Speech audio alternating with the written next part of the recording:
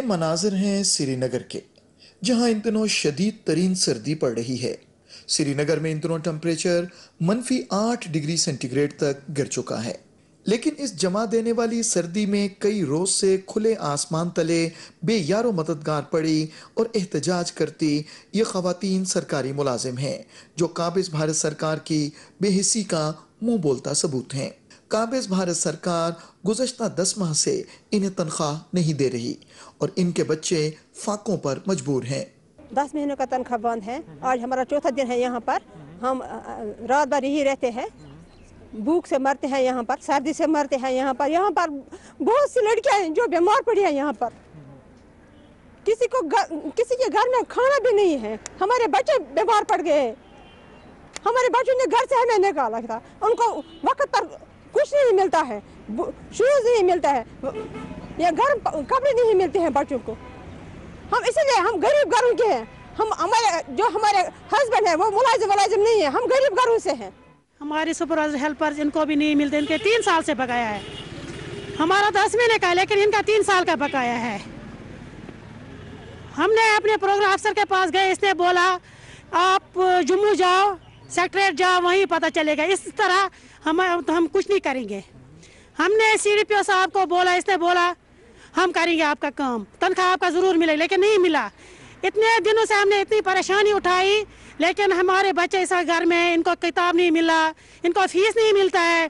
वो घर आते हैं मम्मा ये चीज़ हमारे पास जब है नहीं हम क्या देंगे इनको? ये गरीब तबकों से लड़कियाँ हैं और हमारी तनख्वाह होती भी नहीं है जितना ये हमें हर साल हमें यही करना पड़ता है सड़क पे आना पड़ता है प्रोटेस्ट करना पड़ता है। काबिज भारत सरकार ने कश्मीरी अवाम को हक के खुद इरादियत के मुतालबे की सजा देने के लिए जहाँ एक तरफ़ रियासत की मीशत को एक सोची समझी साजिश के तहत तबाह कर दिया है वहीं मुख्तलिफ़ सरकारी इदारों में काम करने वाले कश्मीरियों को जानबूझकर तनख्वाहों से महरूम रखा गया है। हमारा जो पेंडिंग सैलरी है, पहले वो दे दीजिए। First and foremost we are suffering very badly I should I have hundreds of examples to cite we are we have literally हम सड़क पे इसलिए आए हैं बिकॉज़ अब हमारी सफरिंग बहुत ज़्यादा हो गई।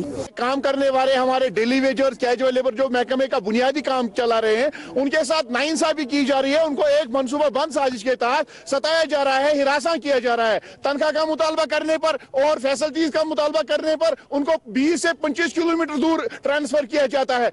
ये जम्मू और कश्मीर टूरिज़्म डिपार्टमेंट के मुलाजमीन हैं जिन्हें 2014 से तनख्वाह नहीं दी गई।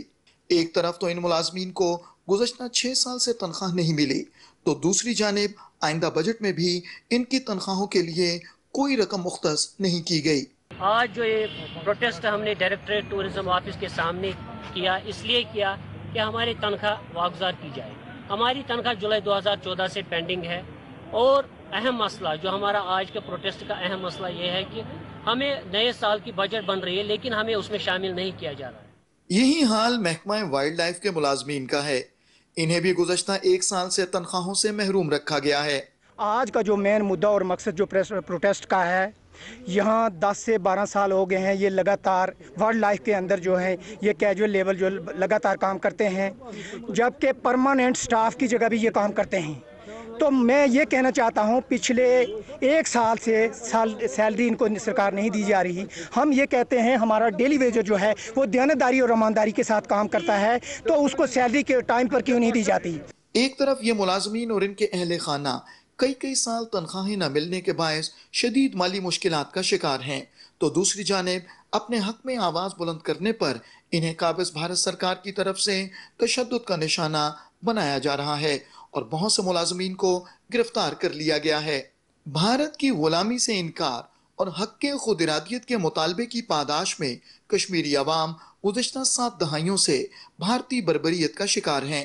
ताहम गुजशत पाँच अगस्त के बाद से तो भारत ने इन्हें मफलूज करने के लिए रियासत का मुसलसल फौजी मुहासरा कर रखा है। इस मुसलसल फौजी मुहासरे के बायस तालीम, सियाहत, सनत, तजारत और ज़िंदगी का हर शोबा बुरी तरह मुतासर हुआ है। लेकिन भारत के इन तमाम औचे हथकंडों के बावजूद कश्मीरी आवाम के हौसले बुलंद हैं। भारत की यह भूल है कि वो मकबूजा जम्मू और कश्मीर के आवाम पर मजालिम के पहाड़ तोड़कर उन्हें हक के खुद इरादियत के मुतालबे से दस्तबरदार कर सकता है। भारत के मजालिम जू जू बढ़ रहे हैं तो तो भारत के खिलाफ नफरत में इजाफा हो रहा है और यही नफरत आखिरकार भारत को ले डूबेगी।